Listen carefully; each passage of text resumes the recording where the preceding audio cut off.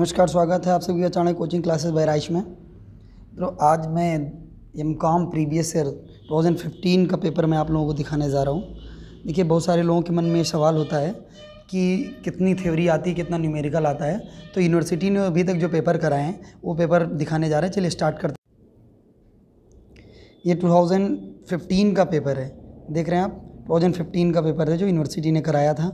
उसको statistical analysis M Com first year का paper है ये। और इस सीरीज़ को मैं स्टार्ट कर रहा हूँ। अभी लोग सोच रहे थे कि पेपर नहीं होगा और ये लॉकडाउन जो है होने की वजह से पेपर प्रमोट हो जाएँगे बट ऐसा नहीं हुआ। यूनिवर्सिटी ने बीच बीच में जो है यहाँ पे स्कीम जारी कर दी है और काफ़ी लोगों के मन में सवाल उठ रहा है कि कैसे तैयारी की जाएगी। तो इसको लेके मैंने एक ग्रुप बनाया हुआ है। इसका डिस्क्रिप्शन में टेलीग्राम ग्रुप है। मैं डिस्क्रिप्शन में लिंक दे दूँगा। आप वहाँ से जुड़ना चाहें तो जुड़ सकते हैं। इधर दस दिन के अंदर जितनी आपकी हेल्प हो सकेगी वो की जाएगी वहाँ पर और मैं आपको तब तक पेपर में, मैं दिखा दे रहा हूँ। ये देख रहे हैं आप? पेपर आपको दिख रहा है। और इसमें देखिए आप कि किस टाइप के क्वेश्चन आ रहे हैं।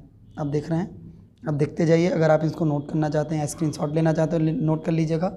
इसको डाउनलोड करने का भी मैं लिंक दे दूँगा यहाँ पे। देख रहे हैं? ये। आप देखिए सर न्यूमेरिकल ज़्यादातर पूछा गया है।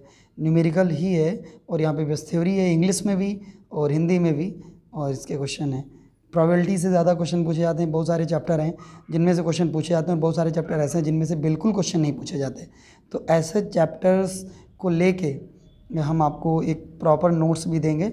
अगर आप हमसे जुड़े हैं बराबर, जो हमसे हेल्प हो सकेगी हम करेंगे, आपको अगर लग रहा है कि ग्रुप से जुड़ना चाहिए तो ज़रूर जुड़िए। जितना भी हो सकेगा, वो किया जाएगा। एक पेपर आपको दिख रहा होगा।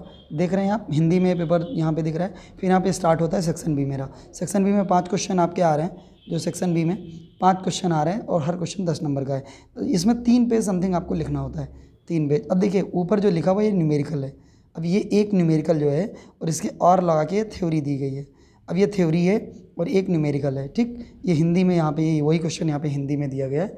ये थ्योरी ये न्यूमेरिकल और ये थ्योरी दिया गया है। अब नेक्स्ट आता है सेक्शन देखिए ये बी का तीसरा क्वेश्चन आप देख रहे हैं ना, ये न्यूमेरिकल है ये थ्योरी है। मतलब यहाँ पे भी आप अगर थ्योरी के भरोसे जा रहे हैं तो नहीं फंसेंगे। ये हिंदी में है। फिर आ जाते हैं हम, ये देखिए, ये थ्योरी का क्वेश्चन है। ये टेबल होती है, एक आसंग श्रेणी से कहते हैं कंटिजेंसी टेबल ये बहुत अच्छी होती है बड़ा आसान होता है। इसका भी सोल्यूशन आपको दे देंगे। और ये इसका, ये देखिए न्यूमेरिकल आर लगा के। हर जगह मतलब एक थ्योरी तो एक न्यूमेरिकल इसमें भी फिफ्थ नंबर में भी एक थ्योरी एक न्यूमेरिकल अगर आप कम्बिनेशन आपको को लेके चलना पड़ेगा तो ये देख रहे हैं ना, ये न्यूमेरिकल है। आप इसको स्क्रीनशॉट ले लीजिए। देखते जाइए। बहुत अच्छा न्यूमेरिकल है ये। ये देख रहे हैं, ये न्यूमेरिकल ये जो दिख रहा है आपको, ये बहुत अच्छा बहुत छोटा सा न्यूमेरिकल है। ये रिग्रेशन एनालिसिस का न्यूमेरिकल है और इस चैप्टर से हर साल न्यूमेरिकल आता भी है। ठीक? ये देख रहे हैं? अब ये आ जाता है सिक्स नंबर क्वेश्चन अब ये देखो, यहाँ पे फंस रहा है पे। देखो, ये इंट्रापोलेशन एक्स्ट्रापोलेशन का है। ये देख रहे हैं? ये इंट्रापोलेशन एक्स्ट्रापोलेशन जो है, से रिलेटेड एक एक चैप्टर है आपका। वहाँ पे न्यूटन का मेथड दिया गया है। उसके अकॉर्डिंग देखो, ये न्यूमेरिकल है और ये प्रोबबिलिटी का न्यूमेरिकल है। दोनों एक साथ, एक में ही न्यूमेरिकल यहाँ पे दिए गए अब ऐसे केस में फंस जाता है कभी कभी अब देखो सेक्शन नंबर ये फंस गया। ऐसे हम कई सारे पेपर आपको देंगे। अब सेक्शन सी में आ जाइए। सेक्शन बी में एक क्वेश्चन आपका फंस गया न्यूमेरिकल और देखो, अब ये सेक्शन सी में सेवन नंबर ये आपका न्यूमेरिकल है। अब ये जो है, देख रहे हैं आप? ये न्यूमेरिकल दिख रहा है। अब इसके बाद एट नंबर अभी बहुत छोटा सा क्वेश्चन है। बहुत बड़ा नहीं है, बहुत मज़ेदार क्वेश्चन है।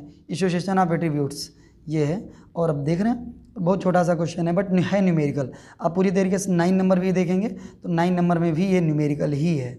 Nine number ten number ten number भी न्यूमेरिकल ही है। टेन नंबर न्यूमेरिकल है, इसके बाद एलेवन नंबर ये देखिए एलेवन नंबर थ्योरी दी गई। यानी अब सेक्शन सी में एक क्वेश्चन फंस गया यहाँ पे 2015 में।